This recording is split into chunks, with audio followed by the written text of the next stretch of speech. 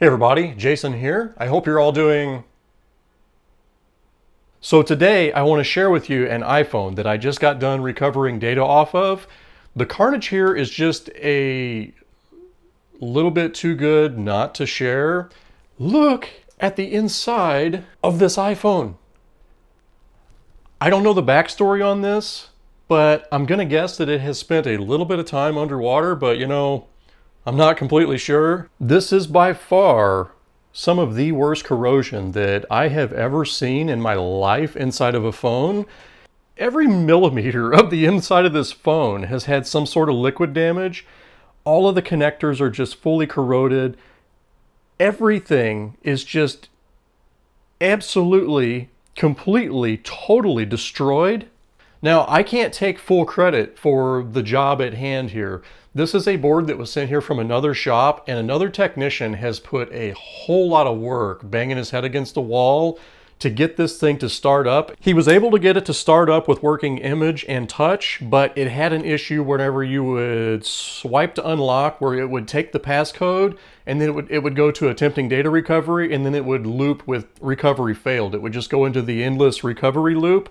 And this, of course, wound up being an issue with the NFC circuitry that I have solved, but I just can't hardly let this go out the door without sharing with you the carnage that I am, am looking at. Here is what this board looks like in its current state. As you can see, it's just a, a little bit corroded. Any minute, we should get, uh, there we go, Apple logo. It is sitting here doing its three minute start restart thing because it's missing sensory. Now, you would think that whoever got this board up and running would have had to replace all the connectors and like reballed a whole bunch of stuff and did like a whole bunch of work to it, right? It still has all of the connectors, the original connectors right here intact. There is the display connector. So then here's the battery connector. It just looks like complete, total doo-doo. How in the world did this ever work? Here we've got some other stuff removed. So to get this board up and running, the previous tech has removed quite a bit of stuff. Uh, there was some obvious shorts and things here and there, and I mean, there's just, there's stuff all over this board that has been knocked away, and I mean, I just don't,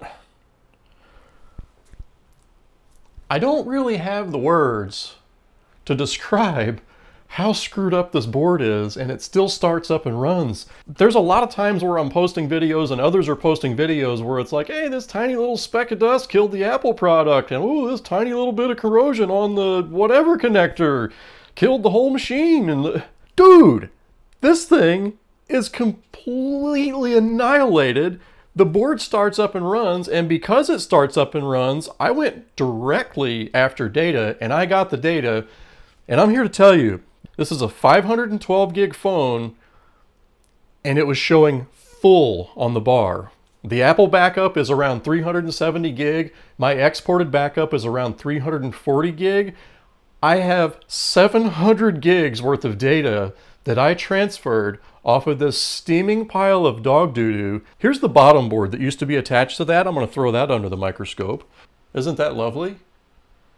In all of its glory, this is just beautiful. And this whole entire bottom board is just everywhere you look, it has gotten wet down between everything. Ooh, what do we have here, fellers? Ah, yes. This is what we've been looking for. We have ball squeezage. So I wasn't too terribly concerned with the bottom board because to recover this, I used a known good bottom board. And this is the board that I used to do the data transfer. So the bottom board pretty well just got tossed straight aside. And uh,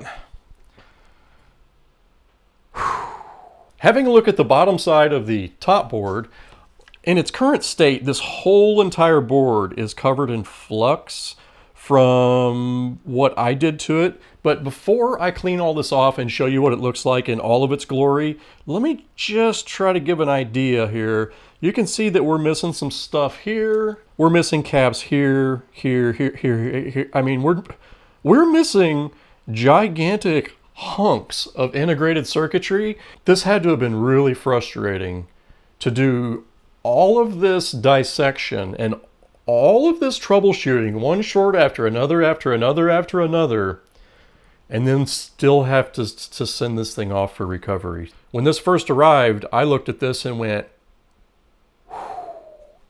and pushed it right on back and I had to come back to it a while later. I'm gonna go ahead and ultrasonic clean this board because I'm not gonna send it out the door with all this flux on it. And I will show you what it looks like after cleaning, get this thing put back together, build a customer, get Lambo. You know, I don't think this board has seen enough liquid in its life. I think we need to dunk it underwater. Clean off all my flux before we send it back. One, two, three. Oh yeah. Look at the flux just clouding off of this thing.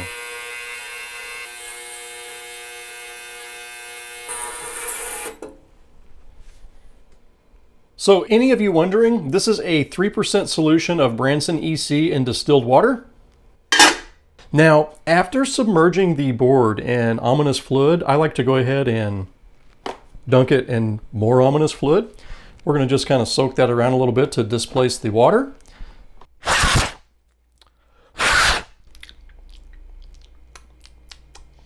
You know, that might not have been ocean water. Yeah, I don't think that was ocean water. Ow, and it's hot. The ultrasonic cleaner does wonders for cleaning this stuff up. You know, it went from being an unrecognizable mess to being a slightly less unrecogniz unrecognizable mess. It didn't clean it up just completely spotless, but it did take a lot of the rust off of the board. There we are looking at the battery connector, and now we can see why that battery connector actually worked. I mean, so now that I have all the flux out of the way, we can zoom right on in here and you can see just exactly what sort of carnage the previous tech was up against. This tech had to remove all sorts of chaos madness. And I mean, this board is in really bad shape. Now, albeit right around the CPU, it's semi-okay, but basically everywhere else, this thing was faced with some pretty massive corrosion.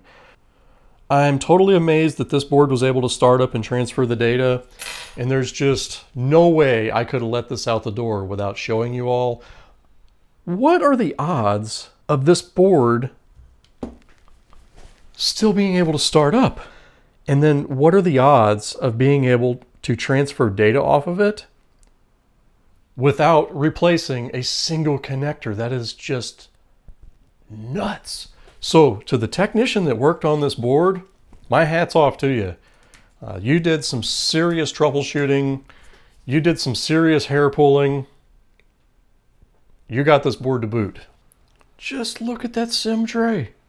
So there you have it. I have got this phone fully reassembled in all of its glory. It's missing a couple of screws, but it's going to be just fine. This thing is pretty much good as new. And we're going to just go ahead and close it right on up. I almost forgot the SIM tray. This thing wouldn't have been able to make any phone calls. There we go.